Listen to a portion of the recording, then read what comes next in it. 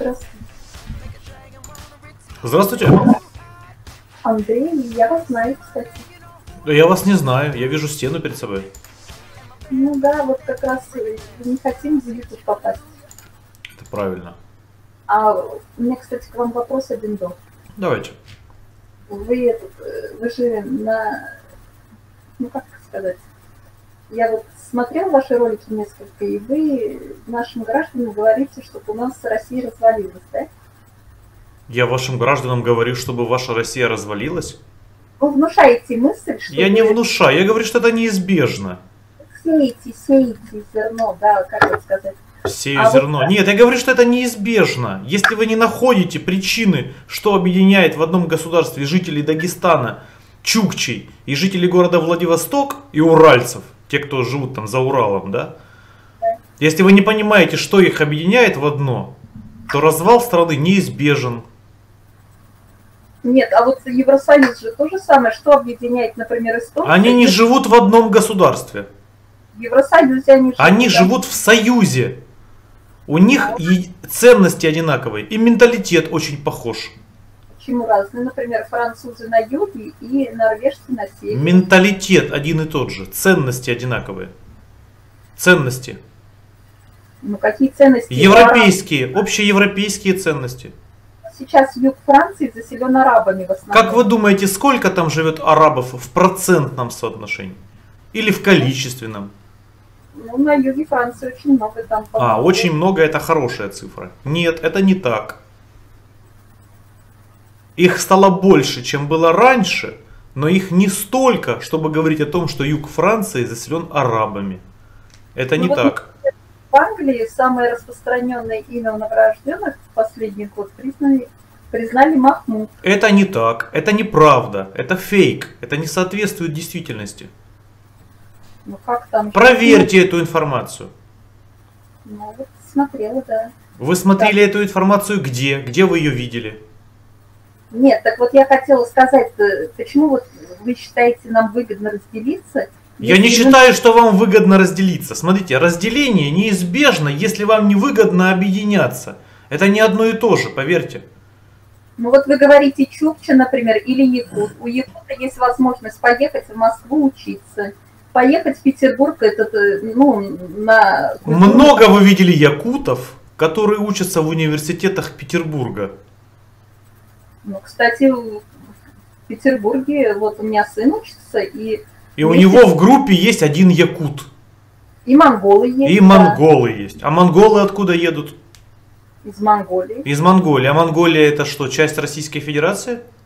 Нет, соседняя, ну, соседняя страна. да. Подождите, это соседняя страна. А почему это не часть Российской Федерации? Но она никогда не была частью России. А, то есть если Якутия не будет частью Российской Федерации, то у Якута, возможно, будет такая же точно возможность, как и сегодня у Монгола, учиться в э, Петербургском вузе. Что ему помешает? Если они, например, отделятся от нас и запретят русский язык, С чего вы взяли, что они запретят русский язык? Смотрите, у вас в одной группе с вашим сыном учится монгол и якут. Ну, так он Но Монголия, но Монголия при этом отдельное государство, а Якутия при этом часть Российской империи. А если Якутия не была бы частью Российской империи, а была бы как Монголия, отдельным государством, что у Якута не было бы такой возможности поучиться в Петербурге? Погодите, юридически Монголия нам не принадлежит. Ну, как бы она под нашим протекторатом многое время была в советское время. А, юридически она вам не принадлежит, но она была под вашим протекторатом. Ну, дружественное государство. А, это называется по-вашему дружеское государство, дружественное государство, которое находится под вашим протекторатом. Как все здорово у вас звучит, хорошо, красиво очень. Мне эта очень фраза понравилась, в ней есть какая-то вкусность. Ну, Согласитесь, правда? Ну, Монголия говорит, не принадлежит нам, не принадлежит, но она находится под нашим протекторатом. Вы, в общем, сейчас на свою публику уже начали работать. Я с вами общаюсь. У меня не прямой эфир. Понятно, что не прямой, но все-таки на всякий случай. Ну то есть, э, расскажите мне, в чем ваша логика? Почему Якутия должна быть частью Российской империи, а Монголия не должна? В Потому чем что- разница между ними? Потому что Монголия как-то, мне кажется, Китай на Монголии тоже этот... э, Ну, знаете, у нас Монголия что-то нечто среднее между Россией и Китаем. Не понял. Я не понял, в чем разница между Якутией и Монголией. Нет, одно время были разговоры о присоединении Монголии, но я так думаю, Китай... Классное слово, правда? Присоединение. Мне так нравится. Это называется завоевывание, а не присоединение. Это не одно и то же. Вам надо съездить в Монголию и посмотреть, А, спасибо, Бог миловал. почему вы считаете там плохо. Я не считаю, и у меня нет никакого желания посещать Монголию. А, кстати, вот, Андрей, почему вы считаете, что у нас страна, например, это... говорите, Подождите, подождите, ну мы не закончили тему, согласитесь. Вы мне пытались объяснить, в чем разница между Якутией, которая является частью Российской империи, и Монголией, которая не является. На примере двух студентов, которые учатся в Петербурге вместе с вашим сыном, одновременно в одной группе. Ну, вы на- навязываете сейчас мне вот эту тему, что я вам хотела объяснить. А вы, не, я у вас спрашиваю, вы можете мне объяснить разницу? Например, мы, жители Центральной России, можем поехать в Сочи отдыхать. Я Можем у вас спрашиваю про Якутию и Монголию. Вы можете объяснить мне разницу?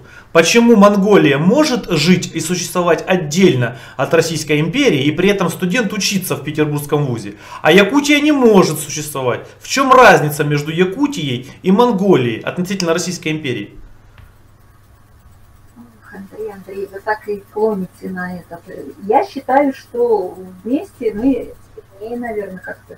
Вы не слышите меня? Вы чувствуете какую-нибудь разницу между Якутией и Монголией?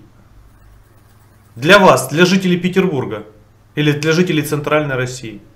Но Монголия не является частью Российской Федерации. Она я- из Вот, а я же у вас и спрашиваю, а в чем разница? Почему? Федерации. А Якутия истори является частью Российской России. А в чем разница? Я это понимаю и так, без вас. А я не могу понять, в чем разница. Почему Монголия не является частью России, а Якутия является? Ну, Ну, мы же сказали, вам ответили, это не наша территория. А вот вы Понял. так как будто вы Другими словами, другими словами, у вас нет ответа на этот вопрос. А вопрос, согласитесь, очень простой. А вопрос, если продлить немножко дальше, то звучит так. Почему Якутия не имеет права на самостоятельное существование без Российской империи, как, например, Монголия? И что Якутия, и что Якутия в случае получения независимости от Российской империи, что Якутия потеряет? страны. А так она находится под покровительством Российской А Федерации. зачем ей нужно покровительство Российской Потому Федерации? что если она отделится, ее уничтожат соседние страны. Какие? Какие соседние страны уничтожат Якутию? Ее, вот и все. Какие соседние страны уничтожат Якутию? Какие? Вам же тоже нужно что-то покровительство. Подождите, какие соседние страны могут уничтожить Якутию? Донецк, Луганск задушить. А почему соседние страны не уничтожили Монголию, например? хотите. Потому что она под нашим протекторатом. Потому что А, Монголия, она, понял. да, находится под покровительством. Вот это я и имею в виду. Когда вы не понимаете, что вас объединяет. Вы не понимаете, почему я- и якуты этого не понимают. Почему они должны жить с москвичами в одном государстве. И с жителями города Махачкала. Потому у них что нет, у них нет ни, люб- ни любви друг к другу. Они просто разные. Эти люди разные, менталитет у них разный. Вы их в одну комнату посадите, в одну комнату. Вот житель города Владивосток или там Хабаровск, вот из Махачкалы человек, и вот Якут и Чукчу. И вот их вместе собрали в одну комнату и начинают задавать вопросы. Они между собой не поговорят. Они не найдут общего языка. Моя твоя не понимай, понимаете? Ну, вот якуты тюркоязычное население. У нас очень много тюрков. Что объединяет Якута и жителя города Махачкала? Что их объединяет? Ну, а что объединяет гагаузы, например, и литовцы? Ничто их не объединяет. Они все находятся в Евросоюзе, в одной стране. как- У них вовсе это все не одно и то же. Это не одно государство. Разные законы, разные религии, но одни и те же ценности. У них паспорта разных стран. Один гражданин Литвы или там Латвии, другой гражданин Молдовы там, например. Это не одно и то же. они объединились в Евросоюз, чтобы упростить, например, перемещение по этой территории. Точно, но ведь у вас же это вовсе не так. Как не так? У нас точно так. А, вы объеди... они объединились. То есть это добровольное объединение якутов и, Даги... и жителей э, вот, Республики Дагестан. Они добровольно объединились так. И говорят, давайте жить вместе, якуты. И говорит, а чечены говорят, да, давайте, мы тоже очень за. Давайте вот. жить. И Хабаровск скакал 17 суток там на коне, или сколько там, 24 дня надо скакать на коне с Хабаровска туда в Грозный, чтобы говорить, давайте жить вместе. Ну, конечно, давайте. А чего же нам не пожить-то? Мы так рядышком друг с другом живем. Это империя. Вы если не расширяетесь, если вы не присоединяете, а на самом деле завоевываете соседние страны или части соседних стран, которые слабы, которые ну, ослаблены по каким-то причинам. Вот Украина была в 2014 году ослаблена.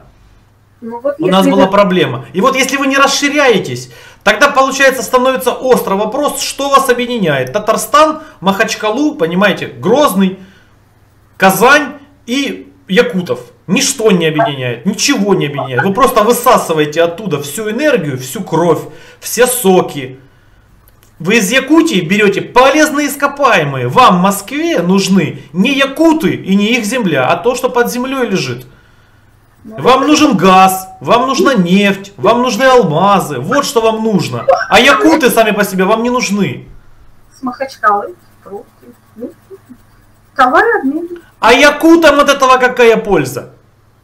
А вот я у вас ролик смотрела с дагестанцем, да, у вас, ну я, правда, его не посмотрела, я, кстати, много ваших роликов, ну, до середины только осиливаю, потому что у вас немножко такая подача этот, э, специфическая. Ну, в общем, про дагестанцев что я хотела сказать. Вот смотри, сейчас Дагестан развивается, да. да, и, например, они сажают сады. В Дагестане сейчас в последнее время начали пробовать сажать хлопковые поля. И вот вы, например, э, как бы Дагестан отделяется. Во-первых, Дагестан, по-моему, стоит в первых строчках по дотациям. Они именно дотационный регион. Вы говорите, из Якутии берут и отправляют в Дагестан э, этот э, дотации. И вот сейчас они отделяются, у них растут сады, им надо будет куда-то реализовывать свой товар. Если мы, они отделяются, то получается как бы все-таки конфликтная ситуация, вы не хотите жить с нами.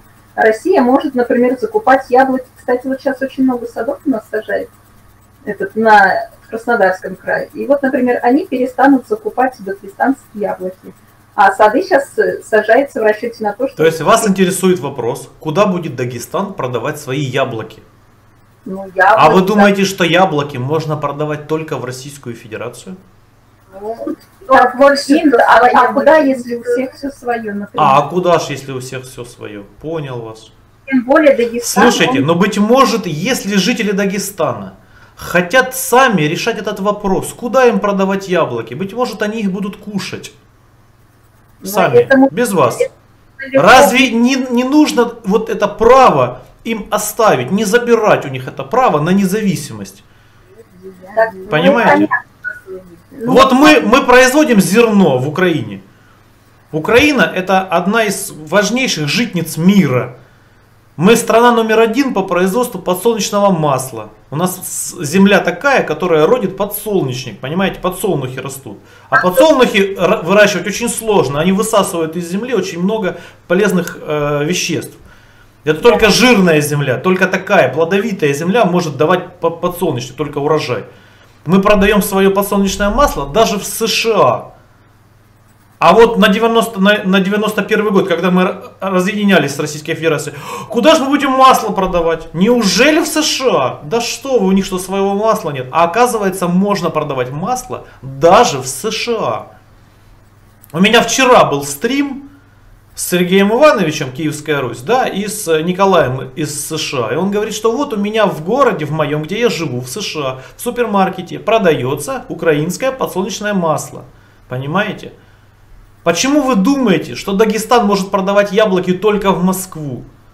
Но дело не только в яблоках. Дело не только в яблоках, дело в свободе. Пусть ну, они сами решат, куда им продавать свои яблоки. Мы недавно разговаривали с дагестанцами, а у них таких мыслей нету. А я разговаривал с дагестанцем, и у вас нет доказательств, что у них таких мыслей нет. А я разговаривал с дагестанцем, и у меня есть ролик, что у них такие мысли есть. 1-0 в мою пользу, понимаете? Но ваш ролик может быть и подставным. А, конечно, я нанимаю массовку, да, 12 долларов в час. Приходите, хотите поучаствовать? Будем разваливать Россию вместе. Нет, нам это не выгодно. Невыгодно? А вы не задумывались о том, что вы, э, может быть, поступаете неправильно? Задумывался. Ну вот не задумывались? Задумывался, я задумывался, подумал и решил, что поступаю правильно. Подожди-ка, я еще тоже хочу, хочу спросить. Вот смотрите, ну ладно, давайте. Если Якутия отделяется, Дагестан отделяется, все республики отделяются, вот как вы мечтаете, и они... Нет, не как я мечтаю. В этом нет моих, понимаете, мечтаний каких-то. Нет.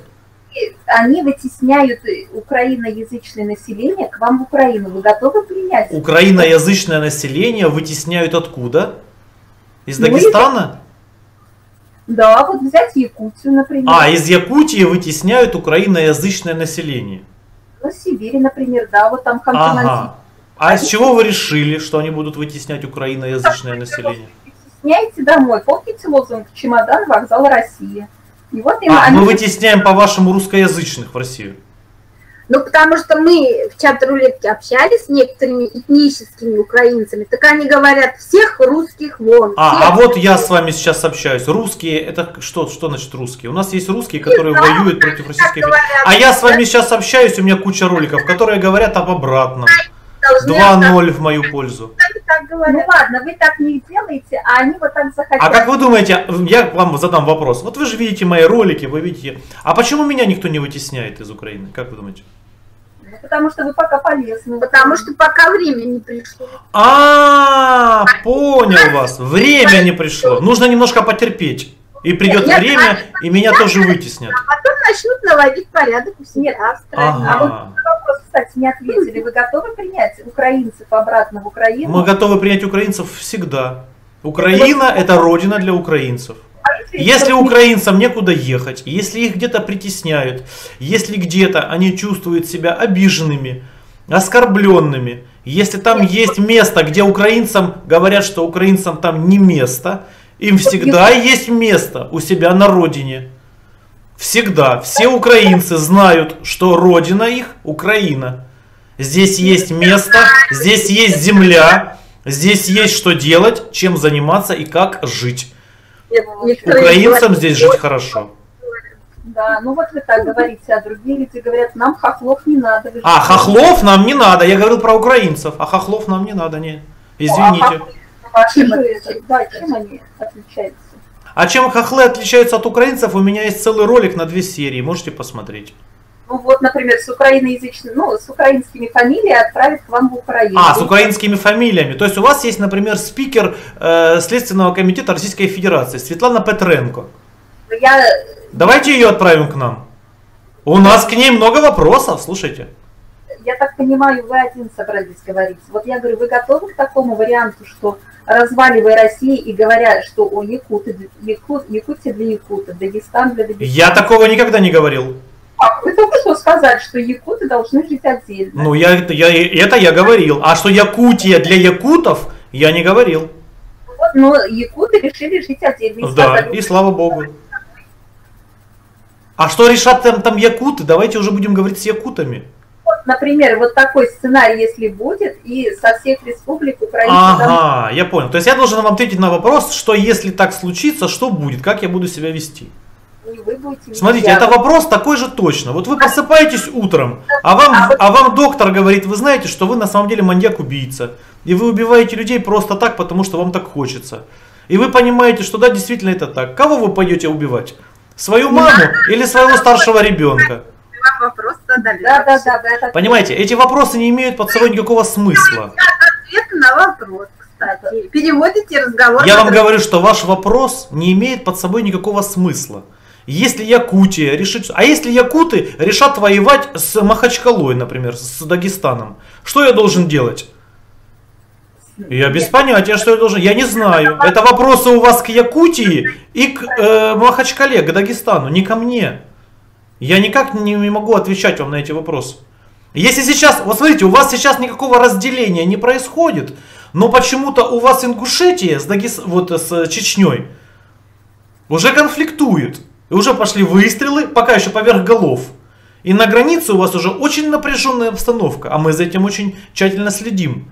А никакого отделения еще не произошло. Что вы будете делать, когда начнут друг друга убивать чеченцы и ингуши? Братские, в принципе, народы. Они не должны стрелять друг друга. А они не должны стрелять друг друга. Ну, смотрите, никакого отделения не произошло. И вроде как будто бы я здесь и ни при чем. Заметьте. И вы тему свернули. Я но вы, вы, вы, вы ведь тоже вносите свой вклад вот, да. в развал России. Вот вы пытаетесь Нет, никакого вклада своего я не вношу. Сказали, вместе будем разваливать Россию. Вот приезжайте, говорят, вместе. Вы же так сказали. С удовольствием бы посмотрел, как развалится Россия. Но вклада своего я никакого не вношу. А какой мой вклад? Свой вклад в, в это тем, что это пытаетесь нас, жителей России, натравить друг на друга. Я у вас спросил простой вопрос, вам задал простой вопрос. Почему Монголия может жить отдельно от Российской империи, а Якутия нет? А вы стушевались и не знаете ответа на этот вопрос. Поэтому я делаю вывод, поэтому я делаю вывод, что Якутия точно так же, как и Монголия, может жить отдельно от Российской империи. А и дети якутов и монголов могут учиться в Петербургском вузе вместе с вашим сыном. Им ничто тогда, не помешает. А Якутия тогда будет самостоятельно. Якутия будет самостоятельно распределять ресурсы от продажи своих природных, э, денежные ресурсы от продажи своих природных ресурсов. Якутия будет продавать свой газ туда, куда захочет, за те деньги, за которые она попросит. А Москва при этом не будет ей указывать. Быть может, давайте дадим такое право якутам. Как вы думаете? Ну вот Москва, как вы будете... Вот вы сейчас являетесь транзитером газа через этот, э, в Европу, правильно? Да. да. А если все вот это по границам разрушится, как вы думаете, транзит газа из Европы... А мы с Якутией договоримся, вы знаете. Ну как вы договоритесь? А давайте, смотрите, давайте мы вот сначала она развалится Россия, а потом мы будем с Якутией договариваться. У нас есть мысли по этому поводу, и есть у Якутии мысли по этому поводу. Мы разберемся, не переживайте. На пять шагов вперед, а не вот давайте. А мы уже знаем как, но я вам не скажу. Ну я знаю, как вы хотите. Как? Вы, просто, вы не, не можете победить Россию и пытаетесь, чтобы она развалилась изнутри. Весь мир насилия мы разрушим до основания. А затем, а, а затем, затем, а затем уже вот тут как бы тут отдельно уже тут не для россиян, тут а для нас. задумались, что насилие не с этой стороны, а с той идет. А, мы напали на Россию. Забрали часть у них Ростовской области у вас, да, и убиваем вас где-то там под Таганрогом. Приливные, э, запланированные, так сказать. Американцы во всем виноваты. Я понял. У вас есть ко мне вопросы серьезного характера? Серьезного характера. К сожалению, я вам вынужден сказать, несмотря на то, что вы обе женщины, разрушить. К сожалению, я вам вынужден сказать, что несмотря на то, что вы обе женщины, вы не воспринимаете это как оскорбление, ни в коем случае. Но вы ватницы, чистейшей воды. К сожалению, это очень большая проблема всей Российской Федерации. Чем отличается ватник от человека? У вас отсутствуют причинно-следственные связи и нет ответов на элементарные вопросы. А вы а жертвы пропаганды. Вы не можете на некоторые вопросы ответить. На некоторые или на элементарные? Ну, на элементарные. Хорошо, я вам задаю последний вопрос, и мы разбежались. Вы на двоих можете мне объяснить, почему летом тепло, а зимой холодно? Ну, все равно, вам же ответ не важен. А вы нашли ответ на этот вопрос? Я вам задал простой вопрос. Почему летом тепло, а зимой холодно? Почему происходит смена времен года, по-вашему? Ну, я вот могу, например, вам сказать, но вам не понравится. Скажите. Не знаем, какой формы Земля. Это шутка, это сарказм, он здесь неуместен. Вы должны доказать, что вы понимаете простые вещи. Давайте вопрос шире сделаем. Мы да. не почему происходит смена времен года? Почему летом теплее, чем а зимой? Вы задумывались, почему человек рождается? Вы мне задаете вопросом на вопрос, так нельзя. Ответьте на элементарный вопрос. Докажите, что вы не ватники, что вы понимаете какие-то элементарные вещи. Объясните мне. Но мы это знаем, но мы не А, ну мы знаем, но мы не будем. Это как в школе. Я знаю, говорит, ответ, но не скажу. Садись два, говорит учительница. Садись два. И нас давить. Это психологический... В чем я вас давлю? Я молчу, смотрите, говорю, почему летом тепло, а зимой холодно? И молчу. Ответьте. Давайте, давайте, я вам отвечу. Давайте. Ну, у нас Земля, да, наклонена по оси. Ага. Она вращается по эллипсу вокруг Солнца, правильно? Да. И в определенный момент э, происходит время года. Как бы логически рассуждать, чем Земля ближе к Солнцу, тем теплее. Но по факту получается у нас наоборот. Земля чем дальше от Солнца, тем теплее. Вот ну, на вопрос, почему так, я, например, ответ не то, чтобы не нашла, а вот задумайтесь, если Солнце греет Землю, и она поворачивается другой стороной к космосу, почему она не остывает так быстро? Она же должна летом тоже быстро остынуть. В космосе, тем более, такая температура. Видите, на многие вопросы ответов нет. Ночью холоднее, чем днем. Всегда.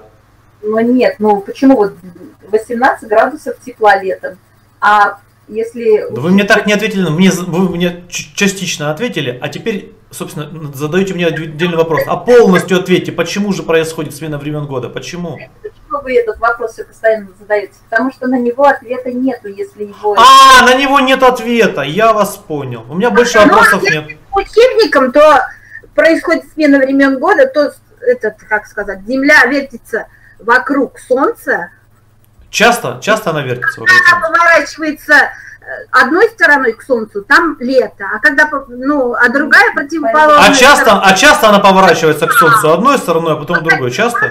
Будет смена времен года. Ага, У вас есть ко мне вопрос серьезного характера? Да, ну, вроде бы нет. Вроде бы нет. Все, я побежал. Спасибо. Меньше смотрите телевизор. Это очень плохо влияет на ваши мозги. Очень плохо. Телевизор не смотрим, не переживайте.